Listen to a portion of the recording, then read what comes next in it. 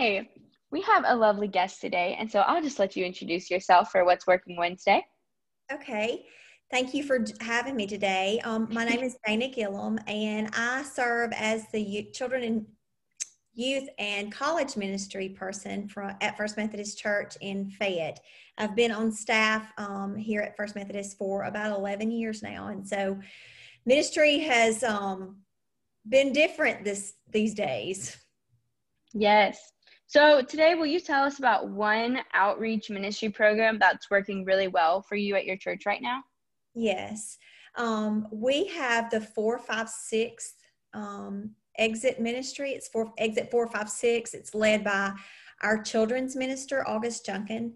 Um, I know a lot of times during the summer times we place ministry on hold because there's so many um, students that are in and out on vacation. But August has been able to um, continue to meet with her children. In the beginning of the pandemic, she was meeting um, virtually via Zoom. But then um, she was also able to, in the last month or so, uh, use our park. We have a local park that is super nice and it has a really big pavilion.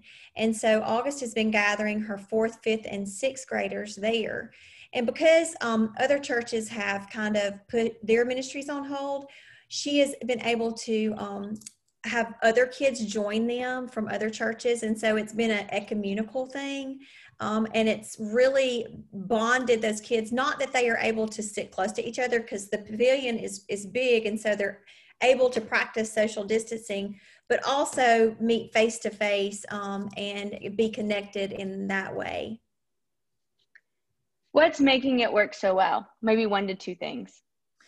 I think the thing that works so well for that right now is the connectivity. Um, I know a lot of times that because of the pandemic and we've been able to, we've had to stay socially distanced um, and we've not been able to connect face to face because God created us for community.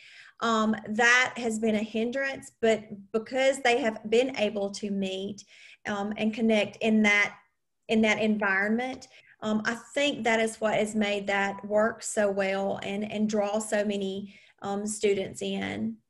Absolutely. What's your biggest challenge as a church? I think our biggest challenge um, as a church at this point in time is um, communication and connectivity. Mm-hmm. I know in the very beginning of this um, pandemic, we weren't able to meet and we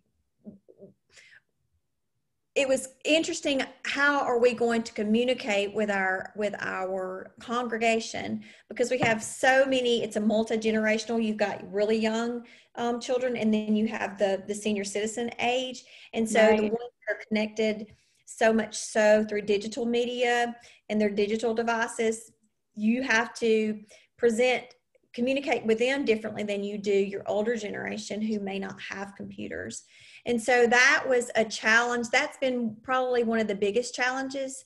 Um, we have had to be creative and come up with new ideas um, in order to communicate with com- all the generations. Right. What's making you the most hopeful, even though we don't know when we will back will be back to normal? I think being able to communicate again with each other. Um, what has brought hope to me um, in the last probably two months is we've kind of went back to the basics where mm-hmm. it's easy to pick up your device and send a text message, um, but that's not as personal. And so we have kind of implemented the old phone tree method where I call, I physically pick up the phone and call somebody and I'm connect I hear a voice on the other end mm-hmm. of the mm-hmm. line and they hear a voice on my end and that is connecting us again multi-generational because we have younger yeah.